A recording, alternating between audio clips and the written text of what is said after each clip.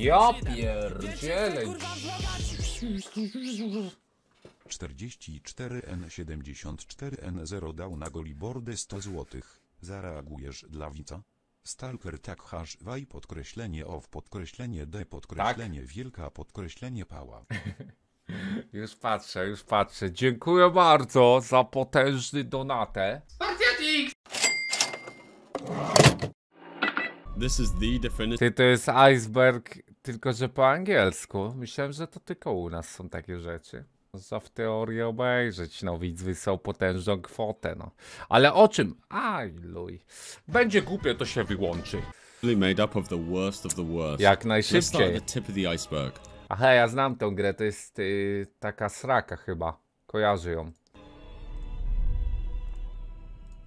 Sexy Beach is a video game series developed by the Japanese company Illusion, who will come up again later for another title they've made. The Sexy Beach series is nie ma tu primarily known for its coś? adult content, focusing on the interactions between the player and the various female characters. The setting of the game is typically on a beach or resort, where the player can interact with these characters in a variety of different ways, Kto most of which being explicit. The gameplay involves dating simulation and visual novel elements, and you're meant to engage in conversations with the characters, with the objective often revolving around Czekaj, ale to są gry zakazane jakieś? W jakimś kraju? Tu będą takie gry? developing a relationship that leads to what I'll call gameplay encounters. Sexy Beach has been controversial mainly due to its explicit content. In Japan, it falls under the category of eroge or erotic games, but has faced criticism and legal challenges in other countries. The depiction of certain activities, especially given the questionably youthful appearance of some of the characters, has made it slightly infamous. Due to its nature, Sexy Beach and its sequels have had a very limited release outside of Japan,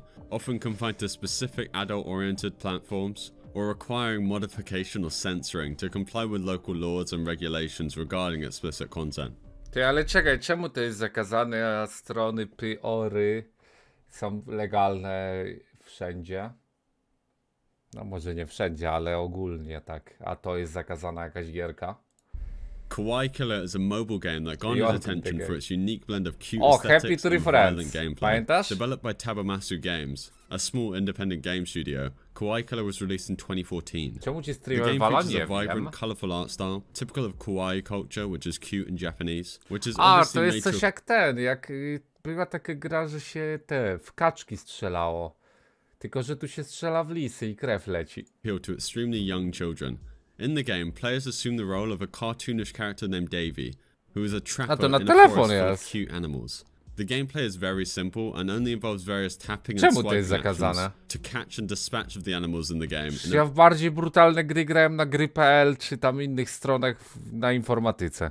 very gory way. Upon its release, Kawaii Killer obviously faced criticism and controversy for its To, jest, to nie jest brutalna gra. W Sword and Sandals się dało więcej zrobić niż tu. Graphic depiction Sword of violence against the cute cartoon-like animals that are made to appeal to younger audiences. The surge of complaints made against the game from parents No and young children had it eventually removed from the App. Store and Google Play, with Apple issuing Jedyna różnica jest taka, że są ładne zwierzątka i tyle. Pieprzone statement saying the app concept is not appropriate for the App Store in its current state. However, children who've already downloaded the game are still able to play it. Nie, Postal is an extremely controversial video game developed by Running with Scissors, first released in 1997. it's best known for its dark themes Zapomniałeś, że wtedy pirat... Ale and extreme violence, and the game has been subject of debate and controversy, particularly in the context of the portrayal of mental illness and societal breakdown. ja the game follows the story of a character only known as the Postal Dude, who believes he is the sole individual in his town that isn't affected by an airborne agent supposedly released by the US Air Force that he calls the Hate Plague. This leads him on a violent rampage through various locations, Amiga? including a ghetto, train station, trailer park, truck stop, and eventually a school full of children. The narrative is presented through Postal Aha, dobra, była szkoła pełna dzieci i się tam strzela w tej grze. Okej, zakazujemy, wiadomo. Ale możesz oskurować człowieka na ulicy nożem i nie ma cenzury. Okej, okej, ale nie, ma więcej niż 18? Możesz to kupić w każdym empiku, nie ma problemu. Ale co? Do dziecka? Banujemy to. Pieprzone gówno. Ale to jest głupota. Czemu są takie niby głupie rzeczy zakazane? Bo jak strzelasz do ludzi w GTA, to nie wywoła w tobie agresji, ale jakby tam były dzieci, to ty byś wyszedł na ulicę z kałachem? No to kto to wymyśla? Co za różnica? Przecież to jest gra. Asymmetric shooter, where the player navigates through different levels, engaging in gunfights against various enemies. The game's primary objective is to kill a certain number of enemies in the area to progress. The game stands out for its były czasy, gdzie gry takie jak, no może tak, racja, no inne czasy w sumie, Wie, więcej było zakazane w gierkach może, no. lack of a conventional narrative structure, and its focus on the protagonist's actions and mental state, rather than just a traditional storyline, which initially depicted the postal dude attempting a tu massacre at an elementary school, only to find his weapons to be ineffective against the children. As they all laugh at him and his mental state deteriorates further, he finds himself restrained in a mental asylum, as satanic and hellish images cover the screen. However, the ending was later changed in Postal Redux due to what the developers called an increasing prevalence and decreased shock value of school shootings. The revised ending features the burial of an unknown person, believed to be Postal Dude's funeral. Harvester, released in 1996, is an extremely Jaka grafika, ty, to wygląda jak w kiepskich. Efekty te na green screenie. To są kiepscy The Game? click adventure game. It's best known for its surreal narrative and extremely gory content. And the game Aha. stands as a distinctive and extremely z dziadkiem video walczy game. ma klucz the game unfolds in the small American farming town of Harvest in 1953, where the teenager Steve Mason awakens with no memory of his past. The town of Harvest is a peculiar and unsettling place, No filled with wygląda jak bizarre sraka and hostile characters who seem like twisted parodies of real people. When Steve goes out asking To wygląda totalnie jak takie gry, w które nikt nie chciał grać na gry.pl, bo też były takie dziwne gry. Tylko, że taka sraka to była, a wiesz, mogłeś grać w Florence Sandals albo w tego kaktusa takiego i tak dalej. No dużych fajnych gier. Nadal gramy w niektóre. the town who he was or what he's doing here, he Grałeś always grę, met with the same eerie reply. Well, you always Yeah. were a kidder, Steve. You always were a kidder, Steve. Well, you always were such a kidder, Steve. However, most of the townsfolk persistently urge him to join the mysterious Order of the Harvest Moon, based in the Lodge, which is a huge building within the town, which becomes Steve's new main objective. Steve's exploration Witam, Mroczek.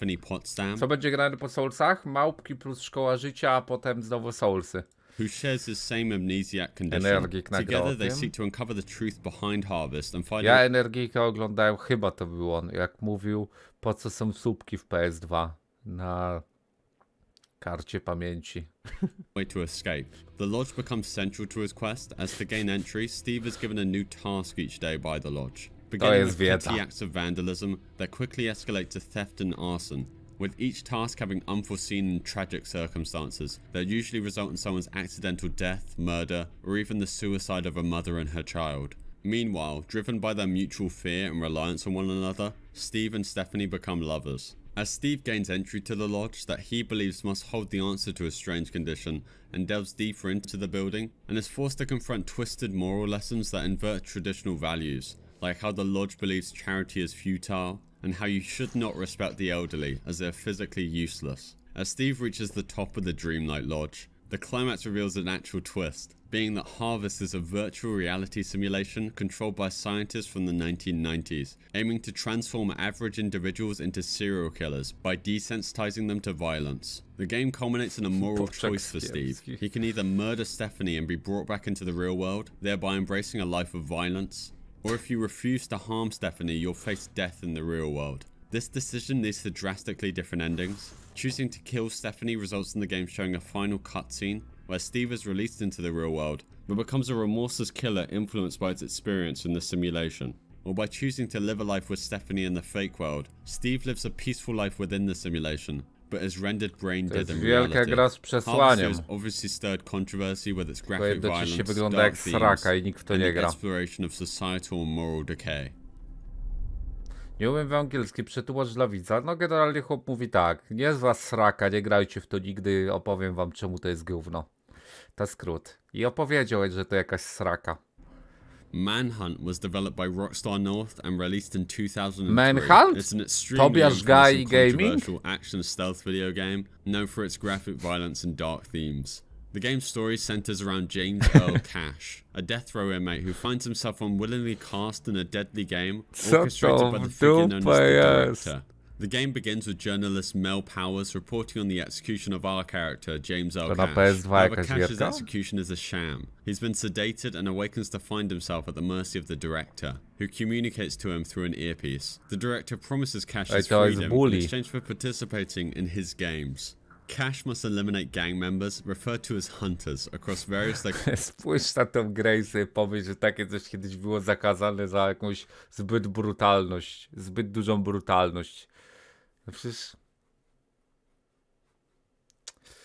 locations in Carcer City, all whilst being filmed by CCTV to create the director's dream snuff film.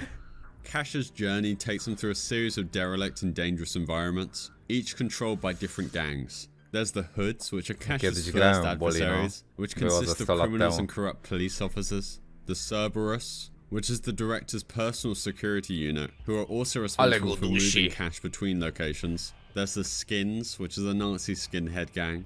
The War Dogs, which is a stare gry to muszą być skiny ze swastyką. No to jest no, stare gry i stare filmy, to zawsze to samo było. The War Dogs, which is a sadistic paramilitary group that kidnaps Cash's family, which just only serves to inspire his violence. Ej, ale system walki taki which is an outlaw gang spoko divided nawet. into Hispanic Dodać przewroty the i Dark Souls 2. and psychopathic baby faces, and the Smileys, which are a group of former asylum inmates. Cash's quest for survival quickly turns into a quest of vengeance when the director betrays him, ordering the War Dogs to murder his family. The remaining War Dogs attempt to recapture Cash, but he manages to eliminate them and team up with a journalist who reveals the director's true identity, being Lionel Starkweather, a former film producer turned snuff film ring operator. The final act of the game sees Cash navigating through a police and SWAT infested city to reach Starkweather's mansion, before finally killing Starkweather himself. The game concludes with the journalist exposing Starkweather's crimes and the police's compliance, while Cash's fate remains Ale unknown. czemu taka gra nie miała być? Czemu kiedyś gry? Przecież Człowiek z blizną jest taki film. Starszy od tej gry, bardziej, dużo bardziej brutalny i nie był zbanowany, bo to film, a gra to coś nowego i się bali, że mózg wypierze? Przecież ta gra w ogóle wygląda jak sraka. Czy to jest zbyt brutalna gra? Kogoś chyba popieprzyło w tamtych czasach. Kogoś serio popieprzyło. Manhunt faced several bans and restrictions in several countries due to its violence, including being made entirely illegal in Australia. Pisz sobie człowiek z blizną, jak y, tego kolegę pod prysznicem piłą mechaniczną zabija mafiozo za to, że nie wiem, oni chyba myśleli wtedy, że on jest jakąś wtyką czy coś takiego, sześcioną. To jest brutalna scena ze starego filmu, bardziej brutalna niż cała ta sraka gra. Co to ma być? Ej, serio, ludzie kiedyś się bali gier komputerowych, tak jak dzisiaj się boją sztucznej inteligencji. Trzeba wszystko banować. Debile. Ale film a gra to różnica? No właśnie, film bardziej jest brutalny niż to gówno. Oni kiedyś myśleli, że gra to wiesz, jak grasz, to ty wyjdziesz na ulicę z piłą mechaniczną, bo w tej grze tak się chodzić z piłą mechaniczną i kogoś tym zaatakować. is the psychological horror game, originally released Ale a nie mówię, czy był dobry, czy zły, tylko chodzi mi o to jakby czemu to banują. No to jest głupie, nie? Half-Life. However, in 2013, it became a standalone game due to its popularity. The game follows um, on Simon, a young man who wakes up in a gloomy alley after being hit by a car. He finds himself in a nightmarish version of a Swedish city, filled with Austro- darkness and a sense of foreboding. As Simon attempts to find his way home, he encounters a series of deformed Ej, to wygląda jak te horrory od Quinto. Te takie ze Steama. Od Chillas. and terrifying monsters, with each Ale encounter being more disturbing than the last. The plot thickens as Simon explores various locations in the city, from decrepit apartment buildings to a subway station. Each location presents its own set of challenges and horrors, with the environment becoming increasingly surreal and menacing, reflecting Ej, to jest chyba Sony Ericsson. Co to za telefon? challenges and horrors, with the environment Zoba, pamiętasz? becoming increasingly surreal and menacing, reflecting Simon's mental and emotional turmoil. Simon's journey begins in confusion and fear as he tries to navigate the hostile city. His first major challenge comes when he finds a man who had texted him earlier in the game for help, now dead in a bathtub. The discovery marks the beginning of Simon's descent into the game's nightmarish world. A significant emotional moment for Simon occurs when he meets Sophie, his childhood friend and unrequited love, standing on the edge of a rooftop. After Simon confesses his love for her, Sophie rejects him, with their encounter ending jak te gry od tragically with. Sophie's suicide. Throughout the game, Simon faces various choices, such No as way, whether or not boss. to confront or flee from the monster known as Carcass, and whether or not to turn over his gun to a doctor he encounters late in the game. These two decisions influence the story's Ej, to są direction, and lead to completely different endings. The game's climax is in Simon's house, where it's revealed that the entire story was a product of Simon's imagination. After his car accident, Simon is now wheelchair bound and depressed, Ta gra to mod Half-Life 1? Aha. and was advised by his therapist to write about his feelings. The horrifying journey of monsters represents Simon's inner mod? battles and trauma, with the monster carcass that seemed to be constantly following Simon, representing his declining mental state, and the doctor who you could turn your gun over to, representing Simon's therapist. Cry of Fear features multiple endings, each dependent on the player's choices throughout the game. If the monster carcass wasn't killed, and Simon didn't give his gun to the gra na dwie doctor, in this ending, Simon succumbs to his darkest thoughts. And feeling utterly hopeless and trapped in his own mind, he kills Sophie and his therapist, which is also followed by Simon Huh? taking his own life. Yeah. His Aha. suicide note expresses his deep resentment and a desire for his body to haunt all those who find him. If Carcass again wasn't killed, and Simon does give the gun to the doctor, this ending sees Simon's unresolved feelings for Sophie leading him down a dark path. After killing na Sophie, he commits suicide, Ciekawe to jest. and his suicide note reveals his twisted reasoning, as he believes he can now possess her forever, as he never got over his rejection.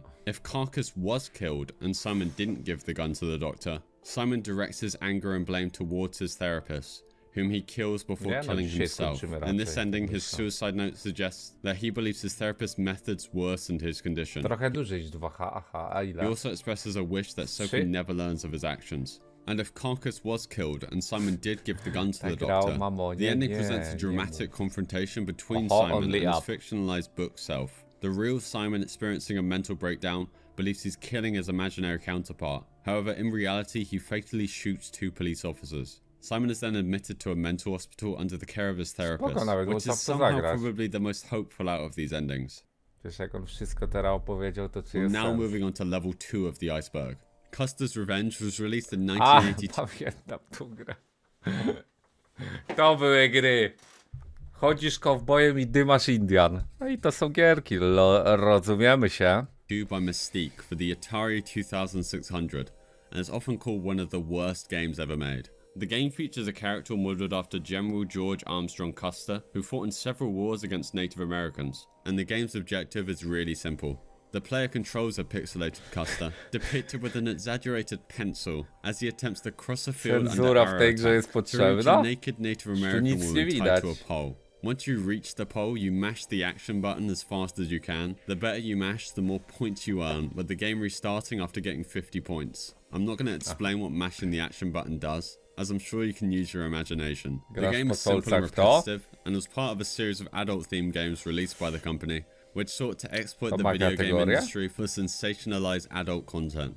The development of Custer's Revenge did not involve any significant or technological gameplay innovations. Instead, it relied solely on its shocking content to generate sales and publicity. As. Custer's Revenge faced legal challenges, protests, and calls for its ban. Though the game's designer, Joel Miller, said Custer was seducing the maiden and that she was a willing participant. Stuart Kesten, president of American Multiple Industries, the company who published the game, stated, Our objective is not to arouse, our objective is to entertain. When people play our games, we want them smiling and we want them laughing. No i. Released on October 2014, O nie, to jest ta wielka gra. A to nie było jakoś drugiej części tej gry the teaser trailer for Hatred was anything but ordinary. 10 lat temu? My name is not important. What is important is what I'm going to do.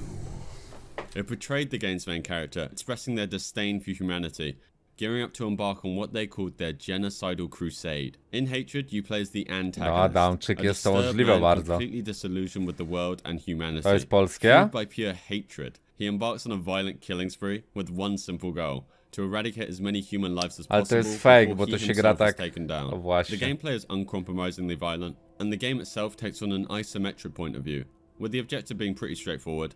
Navigate through various levels from the suburban neighborhoods to police no? stations. And Nie będą- jak every będą zablurowane. Poland, Destructive Creations Ta, powiedział, no the way. gaming scene when they launched Hatred. In fact, Hatred was their debut title. The game was heavily inspired by the twin-stick shooters from the arcade era, but with an obvious and somewhat fajna immature dark twist. The developers aimed to create a game that, in their words, avoided politeness, colourfulness, and any sort of philosophical undertones.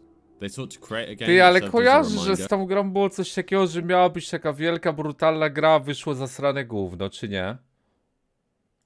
of the industry's past as a rebellious medium and purely surface level entertainment. Whilst Jaki the game and its trailer was designed to provoke, the CEO of Destructive Creations expressed surprise at the scale of the reaction it received, as Twój he firmly believed the game would cross any moral boundaries, asserting that those who disagreed could just choose not Aha. to play. The team has often stated that they intended Okay. for Hatred to be a response to the trend of games becoming more politically correct, as their true aim was to push boundaries.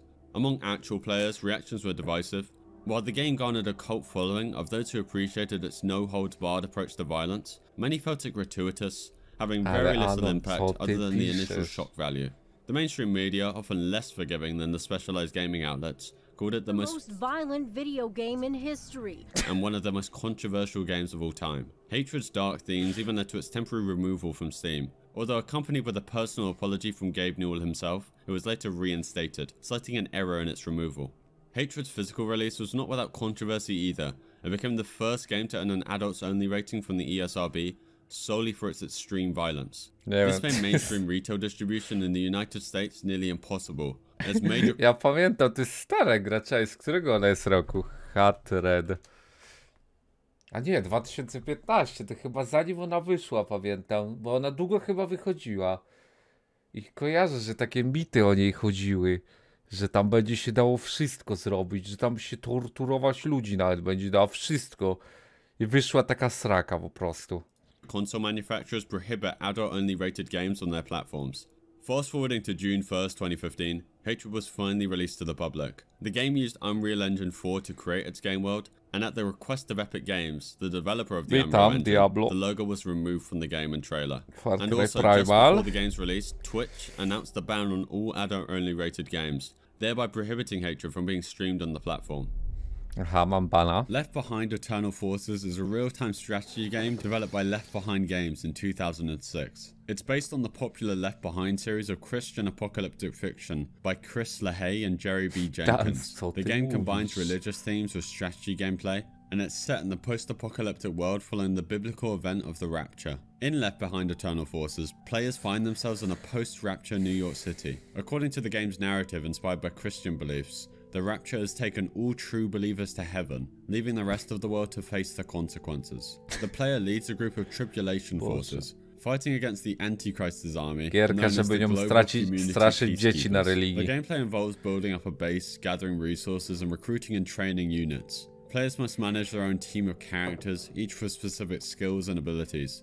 The game focuses not on just military strength, but also on spiritual warfare. Players need to maintain the faith of their units while combating Wszystkie te gry, forces. praktycznie każda w tych gier, co tu są pokazane, mają tylko kontrowersyjną otoczkę, bo sam gameplay z tych gier, czy samo cokolwiek, co w nich jest, jest słabe po prostu. Jak to możliwe, że te gry są zakazane?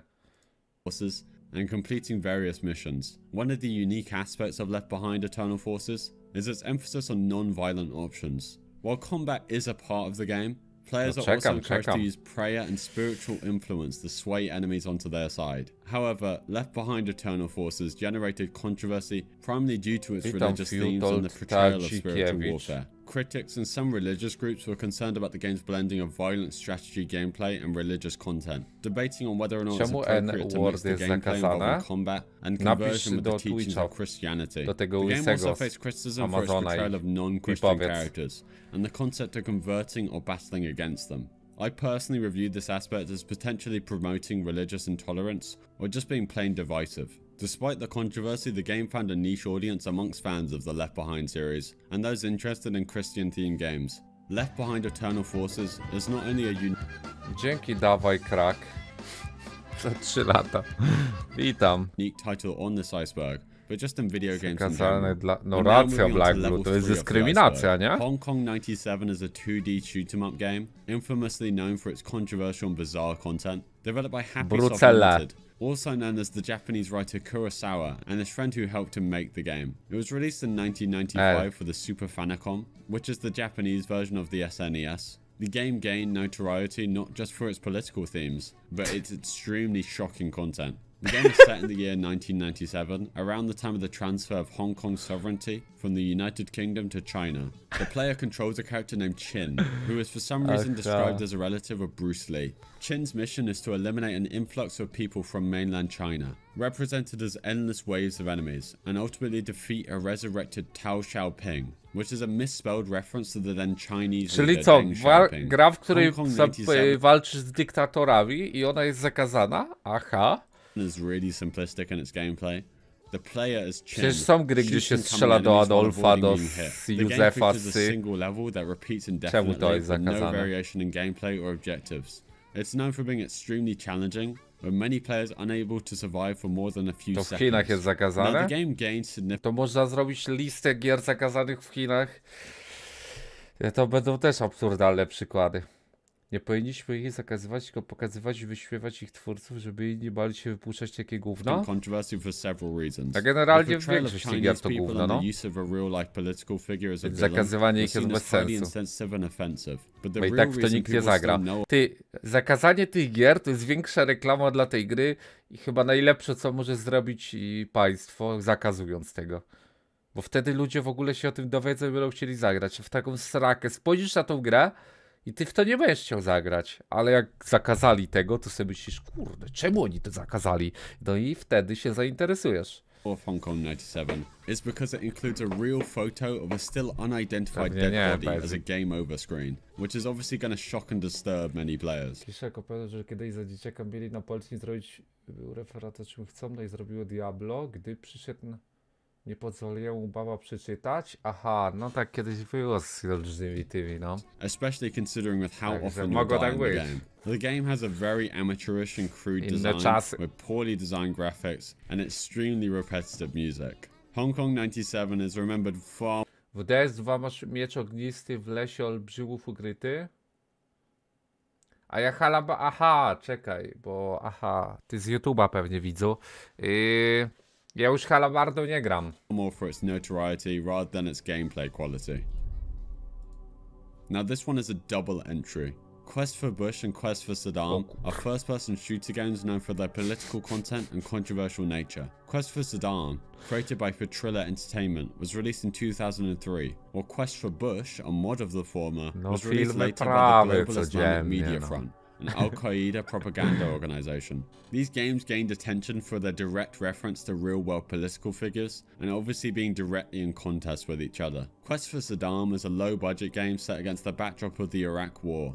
In the game, players go on a mission to capture the Iraqi leader Saddam Hussein. The gameplay involves navigating various czemu environments in? Iraq, battling Iraqi soldiers and other enemies, with the ultimate goal of finding and capturing Saddam. The game was criticized for its simplistic portrayal of complex political and military situations, as it was an obvious form of propaganda, trivializing warfare as a whole. Quest Cześć, for to jest zakazane w jakimś Night of Bush Capturing, arabskim kraju po version prostu? of Quest to Saddam, released by an Al Qaeda propaganda group. The game's narrative was altered to target the then US President George W. Bush. In this version, players assume the role of a jihadist fighter, with the final objective being to capture or kill the president. The mod obviously completely flipped the original game, turning it into a tool for anti American propaganda, whilst Quest for Saddam was criticized for its oversimplification and potential insensitivity regarding the Iraq War. Quest for Bush faced even more severe criticism. Station.exe is a relatively obscure and mysterious video game. W rynsztoku miałeś ukrytą wielką pałę, która jest... Ja ją mam przecież. I don't even know if you can call it a video game. It's known for its enigmatic origins and connection to internet folklore, Mam ją. particularly within the community of the X-Board on 4chan. The game has gained infamy among enthusiasts of creepy and unconventional games, partly due to its eerie atmosphere and the mystery surrounding its creation and purpose. Co to jest? Station.exe reportedly originated from a disc found at a tech expo in Rochester, New. York. An anonymous user claiming their father purchased a CD case containing two discs. While the first disc had engineering software, the second unmarked disc Cool. held the game's station.exe. The game is believed to have been created with Blender, and its subsequent exploration has led to various speculations and theories about its purpose and origins. The player navigates through a completely blank environment and is pursued by floating faces with ambient noises adding to the eerie atmosphere. If you're caught by one of these faces, the game instantly closes. One of the most intriguing aspects of jak z TikToka, co is cię the mordy gonią. of numbers within the game, which some players interpreted as coordinates. no, These coordinates supposedly lead to a real building in Russia, which mirrors the structure of the building found in game. This element has led to speculation about the game being part of an ARG, though no one has actually yet to go to the coordinates in Russia. The enigmatic nature of Station.exe extends beyond its gameplay. When people reportedly dissected the game's code, they claimed to find a variety of unusual elements and connections to other internet forums and a creepy password protected website that still no one knows the purpose of. The Guy game is a game that garnered significant controversy and is highly illegal today. Developed by Top Heavy Studios and released in 2004, the Guy game is set up as a trivia quiz game, where players answer questions while watching live action footage. The game features young women, often referred to as the hotties, who participate in various challenges and are filmed in locations like beaches during spring break. As players progress through the game by answering trivia questions, the live action camera footage includes scenes of the women revealing themselves if the player answers the questions correctly. The game features a rating system that tracks the player's success, with high dla widza za zdradę wielkiej pałę? Żadnej wielkiej pały ani wielkich mieczy, proszę.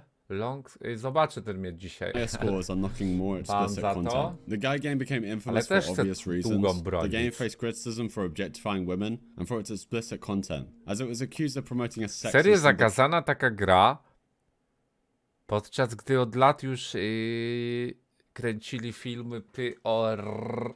Aha, ja już rozumiem. I teraz dopiero do mnie dotarło. W, w połowie filmu to do mnie dotarło. Po prostu te gry są z czasów, kiedy pieprzone duże głowy z telewizorka tylko myślały, że gry są dla dzieci. I dlatego te wszystkie gry są zakazane, bo idioci z zamkniętymi głowami nie mogli zrozumieć, że nie tylko dzieci w gry grają, nawet w latach 90.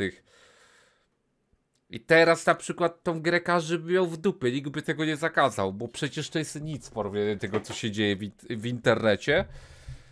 No i też nie tylko dzieci w gry grają. The meaning portrayal of women. However, the controversy truly escalated when it was discovered that one of the women featured in the game was underage at the time of filming. This revelation Aha. led to legal actions Dlatego and the game being pulled from shelves in several regions, due to it being considered CP. Lostboy.exe is an obscure video game that gained notoriety in online communities, particularly to 4chan. The game itself is stylistically similar to the classic Windows 3D maze screensaver. You basically have to navigate through maze-like environments with a first-person perspective. The game's design is relatively simple, but it's distinguished by its incorporation of strange and unsettling satanic imagery within the maze's walls. Lost Boy initially gained attention due to a version of the game that was widely distributed that contained a virus. Ej, ale kiedyś to łatwo było, żeby ci grę zakazali. Albo dawałeś szatana, albo coś o chrześcijanach, albo coś o Al-Kaidzie. albo cokolwiek. I ci grę banowali, no. I dzięki temu potem jest nieśmiertelna ta gra, no bo ją zbanowali, a to nie jest takie częste. First spread on 4chan was made for stealing personal information from players, including things like passwords and credit card information. The presence of the virus, coupled with the game's creepy imagery, added to its mystique and made it a topic of caution and intrigue. However, fairly recently, it was realized that the virus laden version of Lost Boy was not created by the original developer, but was instead modified by an unknown third party. Somewhat Witam. recently, the original version of LostBoy.exe was uncovered. This version, free of any obrazek. malicious software, offers players a chance to experience the game as it was initially intended by its creator. The virus-free version is essentially a slightly eerie horror game, focusing on more on creating an unsettling atmosphere rather than being a fully fledged game. Ta gra to jest Hugo z We're now moving on to level 4. Super Columbine Massacre RPG was developed by Danny Ledonne and released in 2005. The game is a role playing simulation that recreates one of the most tragic domestic attacks in American history. The game's narrative Aha. closely follows the real life events leading up to and including the event itself, focusing on the perspectives of the shooters being Eric Harris and Dylan Klebold. The game starts with a depiction of Eric Harris being woken Czekaj. up by his mother on the morning of April 20th, 1999. Harris then calls Czekaj, to jest gra z perspektywy tych typów, co strzelaninę w szkole zrobili? Te takie, to jest chyba najsłynniejsza, z, taki, jak to nazwać? Nie wiem, zamach w szkole? Jak to się mówi? Ta strzelanina w szkole, ta najsłynniejsza. I zrobili grę po prostu z ich perspektywy. Ja pierdzielę. Recreates one of the most tragic domestic attacks in American history. The game's narrative closely follows the real life events leading up to and including the event itself, focusing on the perspectives of the shooters being Eric Harris and Dylan Klebold. The game starts with a depiction of Eric Harris being woken up by his mother on the morning of April 20th, Aha, on grał w Duma, okej, czyli dlatego był tym, to wiadomo. 1999. Harris then calls Dylan Klebold so they can meet to finalize their plans for the attack. In the game, Harris and Klebold plant propane bombs inside the jak building. When the bombs fail to detonate as planned, they Zanim decide to proceed with their attack nonetheless. The game allows players to control the characters as they navigate the school, with the number of victims being determined by the player's actions. The sequence ends with the characters turning their weapons on themselves, followed by a montage of real and fictional images, including photos of the shooters and scenes of mourning. The game takes a surreal turn in the second half, depicting Dylan Klebold's journey through hell. Klebold encounters Yeah. and battles demons and characters from the video game Doom, reflecting the shooter's interest in violent video games, and the mainstream media's focus on Doom's potential influence on the teen. In Hell, Klebold and later Harris meet various fictional characters like. Pikachu and Bart Simpson, and historical figures like Malcolm X and John Lennon for whatever reason. The game culminates in a battle against Satan, whose sprite was tekstu ze just swoich ripped from South piosenek, co After puszczałeś na defeating plecakach. Satan, the characters are congratulated and the game concludes by returning to the school, where a press conference is held. This segment of the game includes dialogue that directly references the actual event and satirizes the political and media reactions to the massacre. The game critiques various Co aspects such as gun control debates, religious fundamentalism, and the scapegoating of Marilyn Manson in video games in the aftermath of the shooting. Okej, no czyli ta gra miała tam jakieś głęb, głębie powiedzmy. Tylko przyciągnęła tym taką najbardziej prymitywną w pewnym sensie rzeczą, tak? No ale się udało widać, skoro gra istnieje ileś lat i nadal jest ten... mm, O kurde, to jest też ciekawa gra. K Reloaded is a video game that stirred significant controversy upon its No, wyobraź sobie to. release in 2000. Wyobraź sobie, nie wiem, miesiąc po zamachu na prezydenta idziesz do Empiku w Ameryce tamtejszego, a tam taka gra na. To jest coś mocnego. 4. Developed by Traffic Software, it's a simulation game that aims to recreate the assassination of US President John F. Kennedy in 1963. The game's stated intention was to prove the findings of the Warren Commission, which concluded that Lee Harvey Oswald acted alone in the assassination. The game is set on November 22nd, 1963, in Dealey Plaza, Oj, ale Dallas, nieźle Texas, gra where zrobiona. President Kennedy was assassinated. Players Na tamte assume the role lata. of Lee Harvey Oswald, positioned in the Texas School Book Depository. The objective is to replicate Oswald's shots as accurately as possible, based on the Warren Commission's report. Players are given a rifle Rozumiem, and a task with shooting kojarzyłem. motorcade that drives through Dealey Plaza. The game features a detailed physics engine designed to realistically simulate the reactions of the president and the other individuals in the motorcade when hit by bullets. The primary gameplay involves aiming and Ej, firing wiadomo, at the moving ej, y, niedługo chyba mają odtajnić dokumenty na temat tego zamachu. Coś tak kojarzę. Będzie nowa gierka, tym razem prawdziwa. motorcade and attempting to recreate the bullet trajectories and wounds as reported by the Warren Commission. After each attempt, players receive a score based on how closely their shots match with the historical account, including factors like bullet trajectory, timing, and reactions of the characters in game. JFK Reloaded was met with immediate controversy due to its sensitive subject matter. Critics and the public widely condemned the game for allowing players to reenact a national tragedy, with many viewing it as tasteless and disrespectful. The Kennedy family expressed dismay at the game's release, and it faced criticism Ale from various political and public figures. Despite the developers' claim that the game was intended as an educational tool to validate the Warren Commission's findings, the nature of the game led to accusations of exploiting a tragic event for entertainment and profit. VTech Rampage is a video game created by the independent developer Ryan Lamborn, released shortly after the tragic Virginia Tech shooting in 2007. VTech Rampage is set in a simplified representation of the Virginia Tech campus. In the game, players take on the role of the shooter Sung Kyu Choi, who perpetrated the Virginia Tech massacre. The gameplay involves navigating through the campus and enacting the Ej, w USA tylko robią gry o zamachach. Jakiś, w sensie zamachach takich, że jakiś typ wziął pistolet, poszedł ludzi strzelać na ulicy, w szkole, do prezydenta i takie gry robią w USA tylko. I tylko takie są banowane. Ciekawe. Myślicie, że mają problem tam jakiś? Events of the shooting. The game's objective is to mimic the real life tragedy, a choice that led to immense controversy. The game's graphics and mechanics are rudimentary, reflecting its status as an independent and poorly made game. The game E, is meant to exploit the recent and painful tragedy, with it obviously being highly disrespectful to the victims Robią o tym, co mają za oknem. and their families.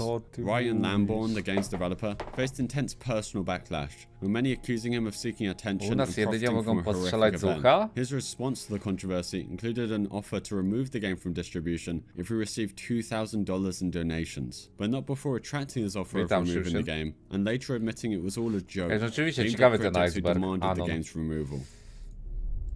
KZ Manager, with KZ being shorthand for the German word for concentration camp, is a simulation Czekaj. Ty to jesteś jak football manager, tylko ty zarządzasz obozem koncentracyjnym?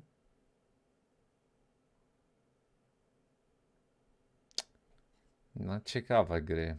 management game where players are put in charge of a concentration camp during World War II. As you can imagine, the game has been widely condemned for its insensitive and inappropriate portrayal of the Holocaust and has been made illegal in several countries, with Germany being among them.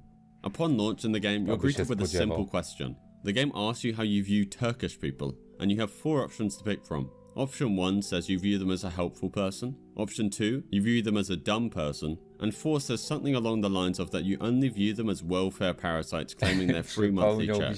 If you choose either of the kind options, the game closes immediately. In KZ Manager, No players assume the role of a concentration camp manager during the Holocaust. The game's objective No is to effectively manage the camp, which involves exploiting prisoners for labor, dealing with prisoner deaths, and managing the camp's finances. Ty, ale spójrz na tą grę, z jakich ona lat jest. Wyobraź sobie, jakie to byłyby popieprzone, że ktoś w dzisiejszych czasach zrobiłby taki symulator z taką dopieprzoną grafiką. Jezus Maria, ty, ej, przecież to jest możliwe. Aż dziwne, że nikt nie zrobił. Pewnie by było zbanowane wszędzie, no bo... No nie wierzę, czemu by nie zrobił tego ktoś, gdyby to nie było banowane.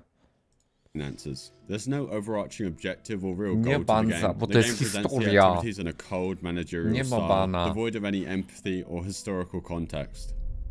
We're now on level 5. I need to issue a serious Oh, ja content warning from here on out, as some of these games are fairly disgusting.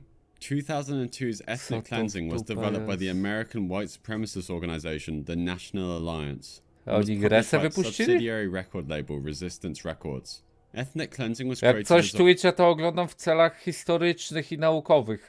Nie popieram nic tutaj. part of a broader ideological push by the National Alliance, a group well documented for their white supremacist views. The game was designed to be provocative, to generate shock and controversy, whilst disseminating a white supremacist message. The game itself was entirely unremarkable in its mechanics and graphics. And they shoot at the enemies shoot at you from outside of your view zone. It's Ale gra just, gówniana to jest. just cheap. Rather, it was the horrendous thematic content that made it so infamous. The game is a first person shooter. Już lepsze były level- podróby Minecrafta na telefon, jak ja grałem na telefonie w 2000 którymś tam, jak były jeszcze no 100 lat, 100 lat temu to było, no podróby Minecrafta lepiej wyglądały na telefonie niż ta gra. Where the player embodying either a skinhead or Klansman is tasked with killing stereotypical Nie, dobra, osek. Muszę ci Jewish outa dać The na final sekundę. boss is a fictionalized version of Ariel Sharon, the then Prime Minister of Israel, which obviously just adds to the anti-Semitic views propagated by the game's creators. In keeping with the game's theme, black characters were designed to resemble apes and emit monkey-like sounds when shot. Jewish characters are clothed as Orthodox Jews and shout Oy vey. Mexicans also on the receiving end of the stereotyping exclaim, I need to take a siesta now widziałeś ten after being obrazek? shot. The provocative content was a deliberate attempt to further propagate the racial bias and hatred, and to quicken the pace at which the developers' long awaited race war would begin. The game was launched on Martin Luther King Jr. Day, being the 21st of January 2002, which was obviously a calculated move intended to incite further controversy. It was Nie zgadzam się tu z niczym. $14.88, another nod to the white supremacist 14 word slogan, and the numbers 88, which stand for HH, which I'm sure you can figure out. Many organizations took issue with the game, and Ethnic Cleansing has been repeatedly ranked as one of the most controversial games ever made, and it just serves as a reminder of the capacity of video games to be used as propaganda. You Tak, Euphoria is a potępiamy tu wszystko. developed by Clock Up and released in 2011. It's an adult-oriented game that blends psychological horror, mystery, and very explicit scenes. E, to wygląda na nowsza. mysterious and closed environment where the main character Kazuke, whose name I probably mispronounced, wakes up without any recollection of how he got there. He finds himself in a blank white room along with six women. some of Quinta whom he oczywiście zna. Mega As you can expect from this deep in the iceberg, none of the women are of age, excluding Natsuki, who is an English teacher at the school. Euphoria primarily involves reading text and making choices that influence the direction of the story, depending on the decisions made by the player. These decisions can lead to drastically different outcomes, some of which are extremely disturbing. The story starts with all our characters being confused by the abnormal Grałeś situation, to? when a mysterious voice ci umysł? to them that the game will now begin. The game unfolds a series of escape-like room scenarios, where the characters must solve puzzles and make decisions to survive. The first puzzle involves Kazuke, our character, and the only male in the group. He is named the group's Unlocker, Grałeś w nowego popa? Prince of Persia? Nie grałem, nie grałem, bo w Dark Souls gram. Może zagram pomiędzy dwójką a trójką. and must select one of the women as his keyhole. I think you Nie oglądałem idea. One of ludzkiej the girls stonogi, being boję się. isn't too excited by the idea and starts to panic, causing the A, lights to be cut out no, by the mysterious game master. Once the blinding No lights turn back no. on, Mayako an se umysły. and is eliminated from the Mózgi. game. Though as you can come to expect from a game this far down the iceberg, our character enjoys the display and becomes more ready to become the unlocker to one of his unwilling keyholes. Euphoria was developed by? Japanese game studio Persia? Clock Up, known for creating adult visual novels with dark and often controversial themes. The game was initially released in Japan and later translated into English due to its popularity among visual novel enthusiasts. Euphoria has a decent sized following among visual novel fans who appreciate its complex narrative. The developers Clock Up have some other equally disturbing visual novels. Dziękuję bardzo. Dorzos dał na golibordę 5 złotych. Jutro FNAF. Cześć, co? Pamiętam tą scenę. Laska została porażona prądem i zginęła, ale narobiła w gacie i chłopowi stanął na ten widok. W, tej ba- w tym, co to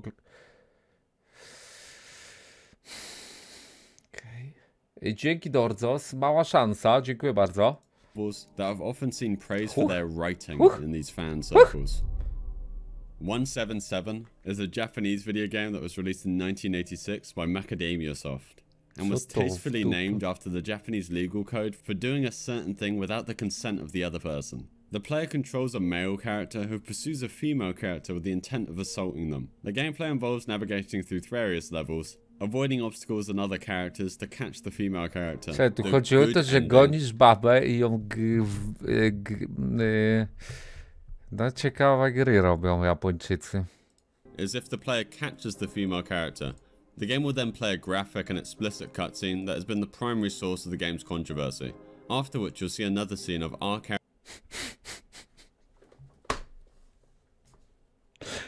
Jednak happy ending. character and the woman married. The second ending, or what people call the bad ending, happens if you fail to catch the Bad ending! Jej nie złapiesz? Ej, Japończycy. Nie, nie mogę nic powiedzieć, bo jest za blisko bana. Po prostu oglądajmy. He reaches her house and gets you arrested.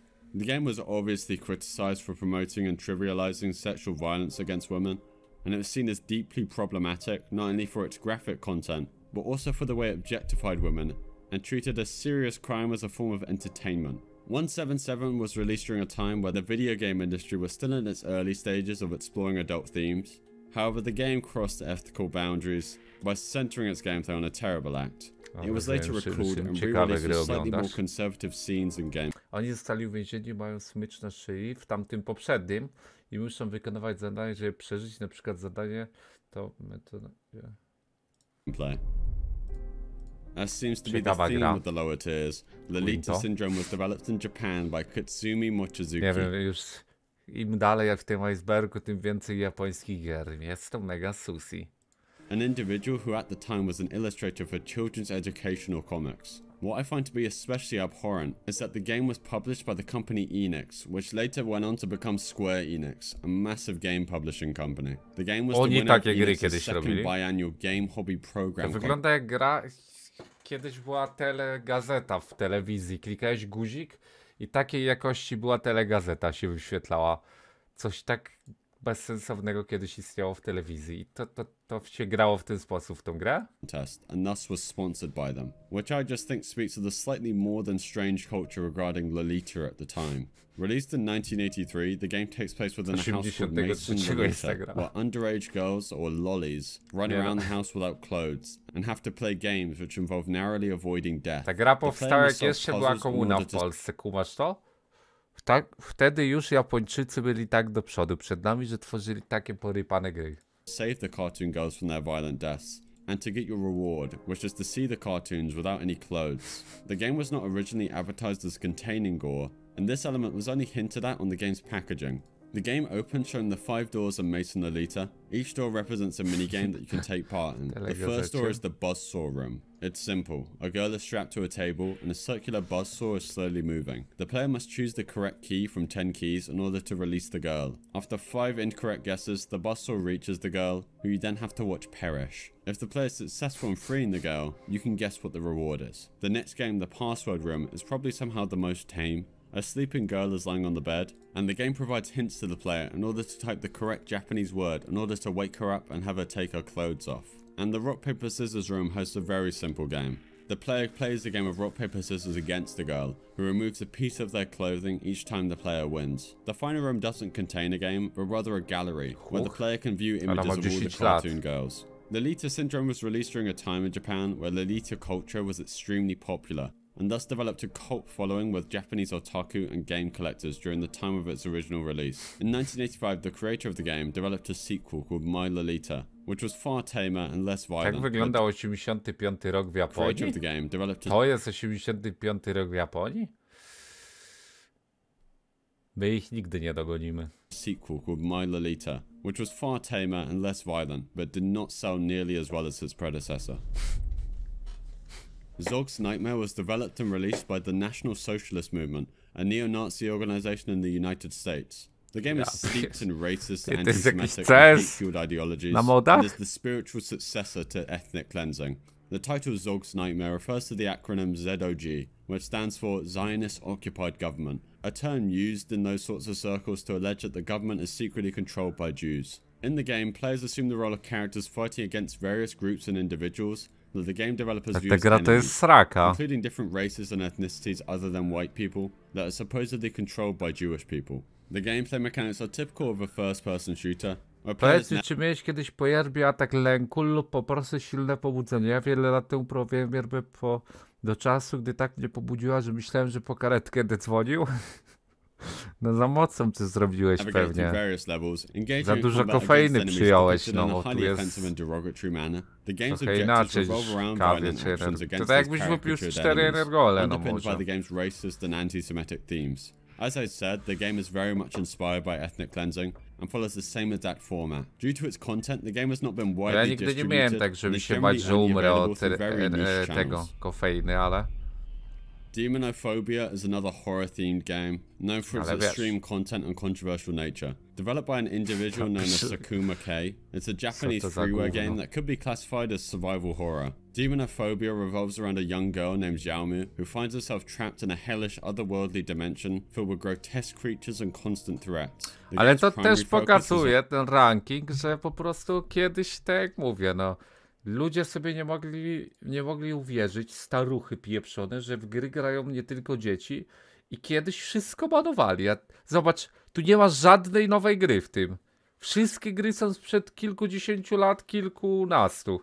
Mm, tak wiesz, jakby najbliżej nas to, to kilkanaście lat niektóre. Te Hatred było najnowszą grą, którą tu zbanowali. A i tak nie jest całkowicie zbanowana, tak chyba da się ją kupić, tylko na Steamie ją zbanowali. Więc to, to jest... Yy... Rozumiesz? Kiedyś po prostu banowali wszystko, jak leci. Bo tylko przecież dzieci grają w gry.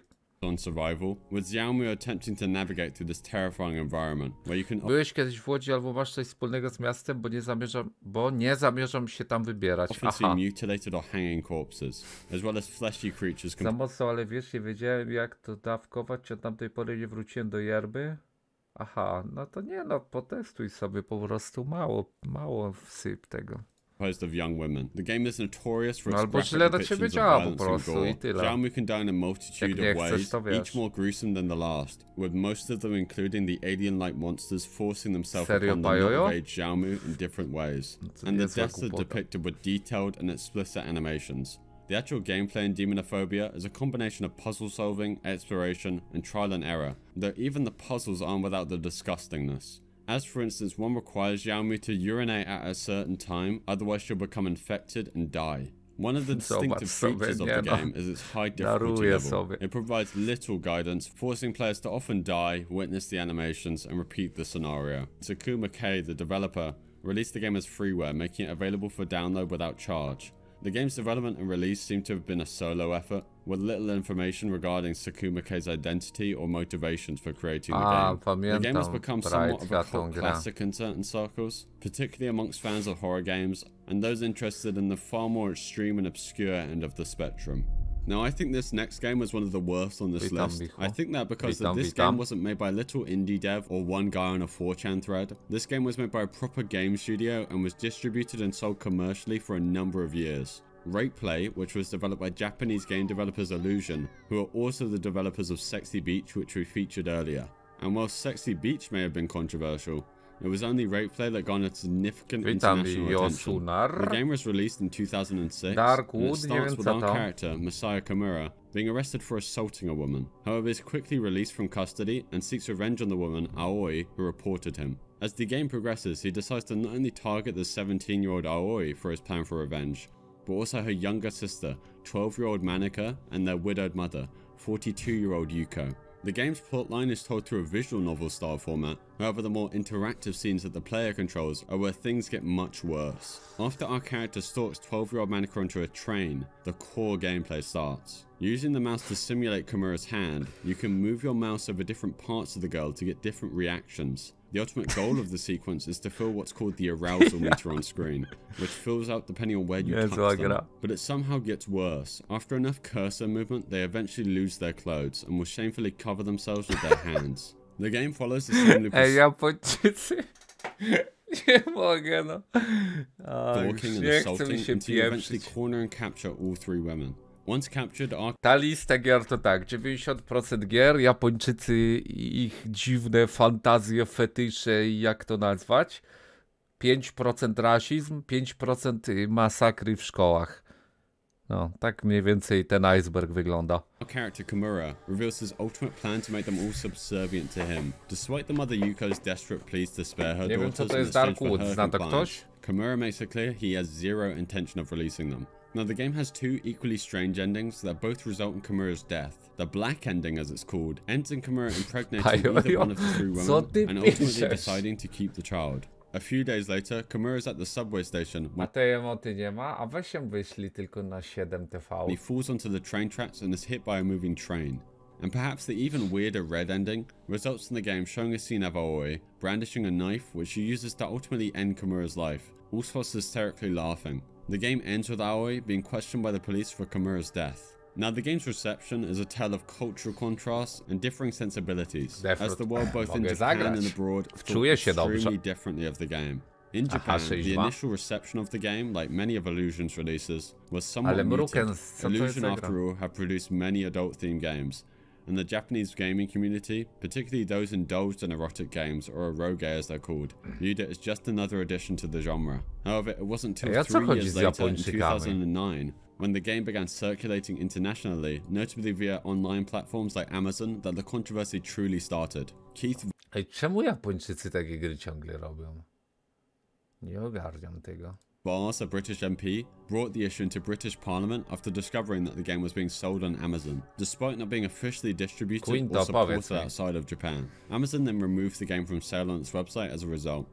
Trzeba zapytać Jordana z TV Gry? Nie, bo w mordę mi za to da, jakbym się go o to spytał, bo on jest przewrażliwiony na tym punkcie.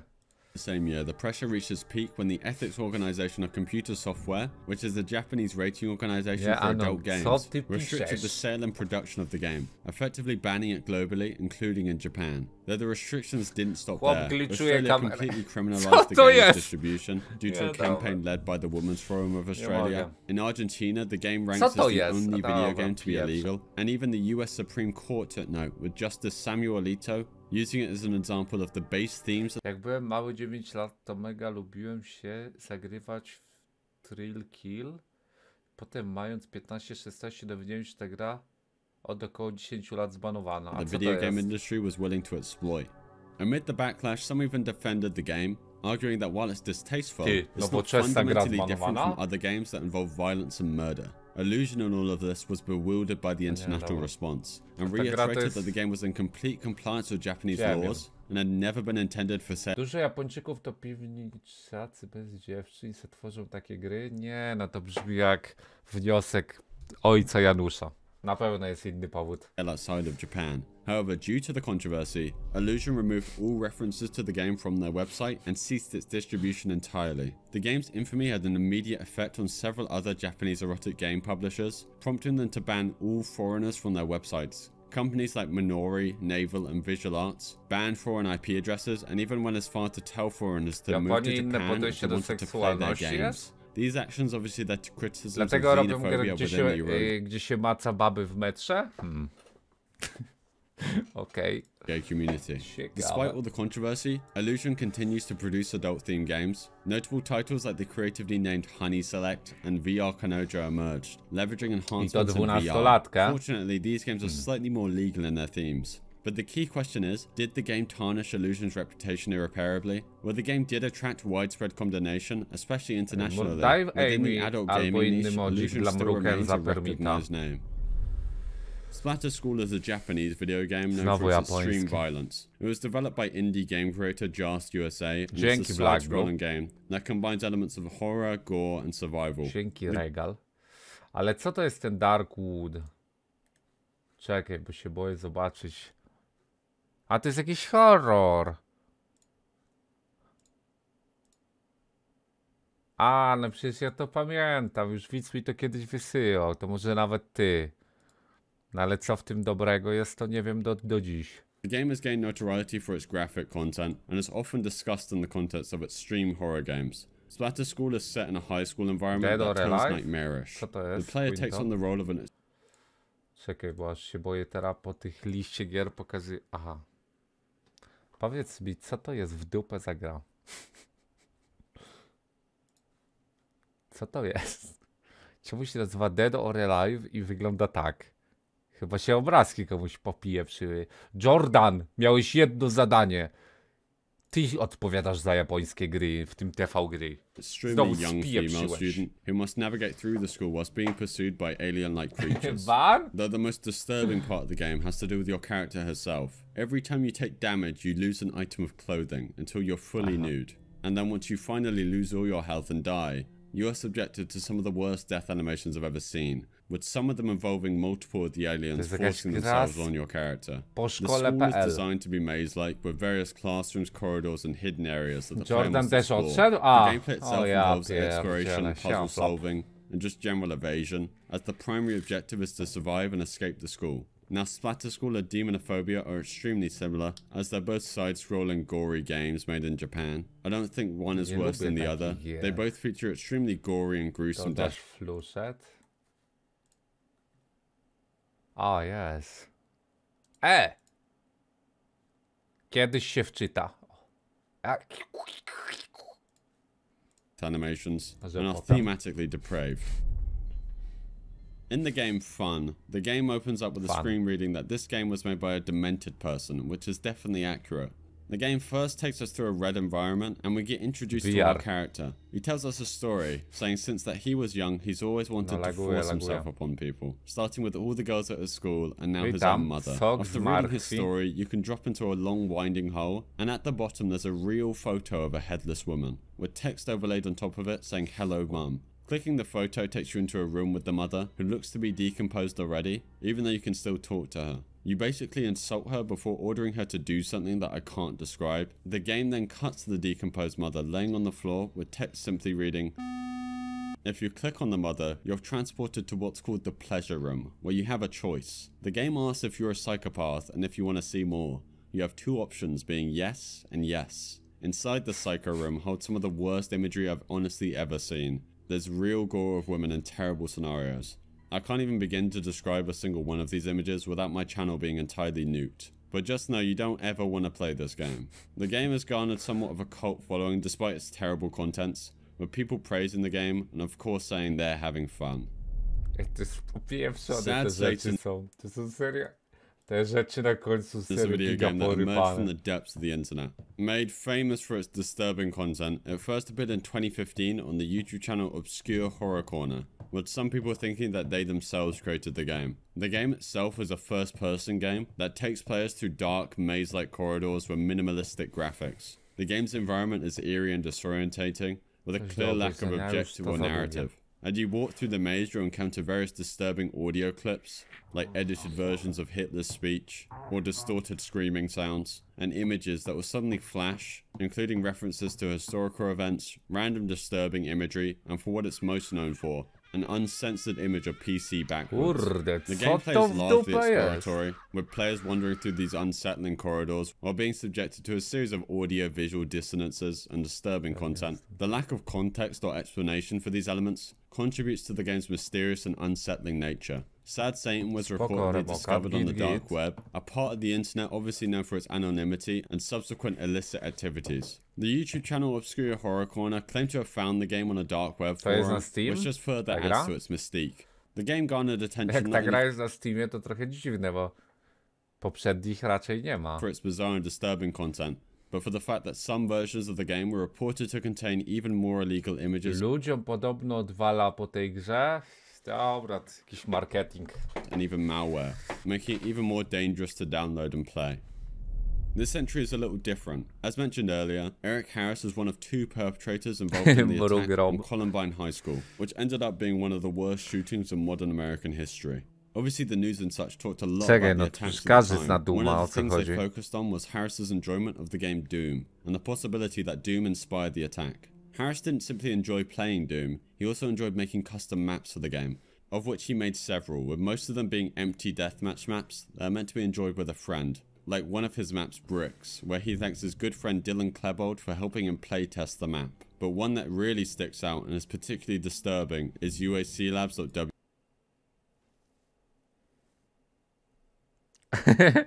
tak, WAD. nagle to prawda. USC Labs was made in 1996, which would be three years No before the incident, and is said to be modeled Ale after the high school itself. nadal mam w planach dodać, no. that features enemies that try to fight you. You start outside a building only with a pistol, and gradually move inside where you find a shotgun. Some people think the map was Brakuje chyba so dwóch partów. strategize and plan out their attack more effectively, though that is merely speculation. Though you can still find and play most of Harris's maps today, three of them you still can't, being Na streamie, Thrasher, Assault, nowe Real RLC. Doom. The FBI permanently scrubbed these maps from the internet, and still no one knows why. The fact that UAC Labs wasn't taken down, yet these three were, leads me to believe that these maps harbored something even worse.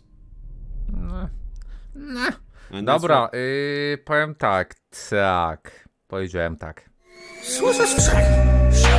Słyszę skrzeki z rzeki, słyszę skrzek. Słyszę skrzeki z rzeki, słyszę skrzek. Słyszę skrzeki z rzeki, słyszę skrzek. Słyszę skrzeki z rzeki, słyszę skrzek. Słyszę skrzeki, słyszę skrzeki z rzeki, słyszę skrzek. Słyszę skrzeki, słyszę